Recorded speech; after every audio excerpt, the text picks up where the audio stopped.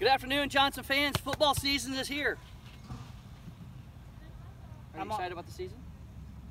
Absolutely. And if you guys want to be a football hero like Michael Jordan, Wayne Gretzky, or Pele, wait, what? They're they're not. Okay. Well, anyway, just follow these tips from the Johnston Police Department. One, we have a brand new stadium and we have a 1,200 stall parking lot. We want you to fill that parking lot first. But as you're doing so, please be courteous and respectful to our Lions Club volunteers who are helping us fill that parking lot.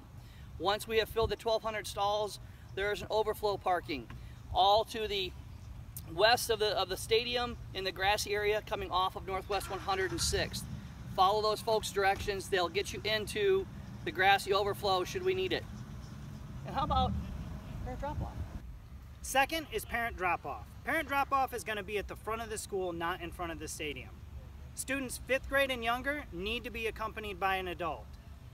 Students sixth grade and over need to pay attention to the seating chart provided by the district. And three, expect delays. We know it's going to be slow coming in and it'll be equally slow going out. Please, we're trying to help you get in and get out safely with no car damage and get home and hopefully you've had a great night here at the Johnston Stadium. Go Dragons!